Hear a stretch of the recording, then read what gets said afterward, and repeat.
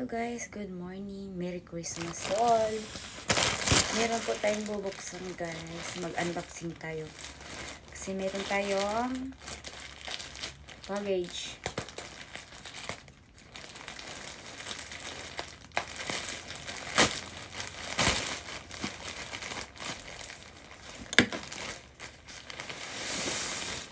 Shin. Two.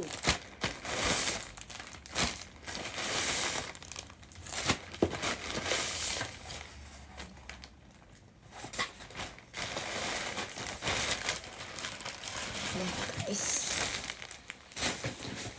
Order ko to siya guys sa Shein. Murayta lang.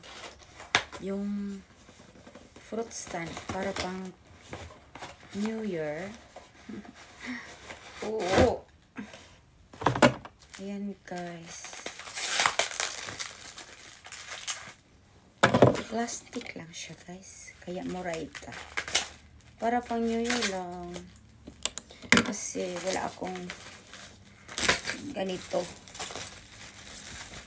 Ayan guys. Ayan o. Tatlong plates. Tatlong plates siya guys. I-assemble ko to siya mamaya ha. Kasi meron pa akong mga orders na damit. Ayan guys. Uy, malaki talaga to guys. M. Sukatin natin ha. Dapat nag-short pa na ako. Ay. Ano siya guys eh. Yung yung dito lang sa harap yung maiksi. Ganyan. Anong tawag nito guys? O, diba? Mag-jeans ka na lang para maganda, sexy tignan. Ayan. Nagpalit ako ng skirt, guys. Para medyo makikita na masyado ano, yung sa baba. Ayan, guys. Ito. Wala. M, M size. M size ba to? Basta. Wait, bihi, magbisa ko. Ito na guys. Parang, ano, crop top siya. O, diba? Mainit siya guys. Diba taglamig ngayon? Masarap sa balat. Next, ito guys, next.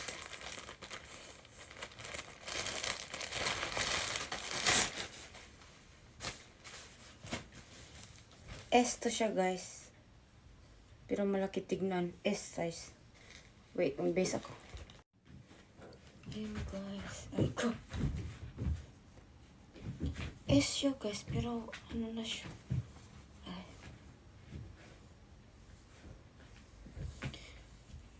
Talagang ganito siguro yan. Style niya sa harapan.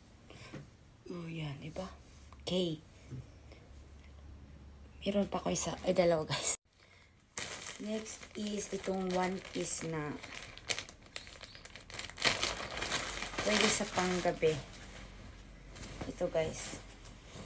Sukatin ko muna ha.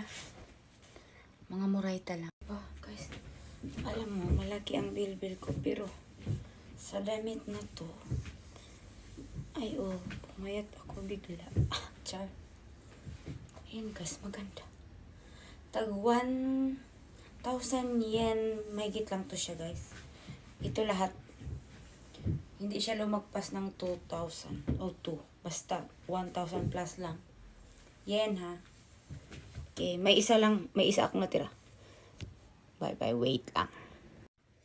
Guys, itong isa guys oh. Pareho ng version yung kanina. Kaya lang close neck yung kanina. At saka mahaba dito. Ayan. Maganda to siya guys. Oh.